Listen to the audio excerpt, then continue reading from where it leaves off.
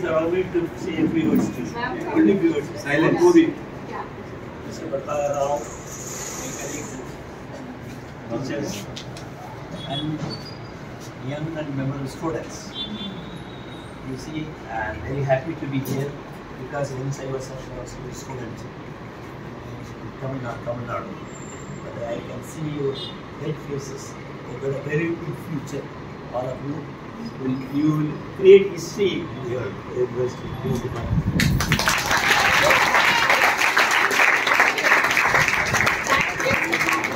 You, you are studying in a very, very most valuable school. You must bring credit to this and to your parents. How many days are there for examination? 35. And when you go for the examination, I wish you, all of you, good, good, good, nice. score 100 marks. Fully 100. I ask your teacher, your correspondent, I have Mr. Ramji, the rest of both the result of the meeting. I will come again, see you again. Thank you all. Thank you.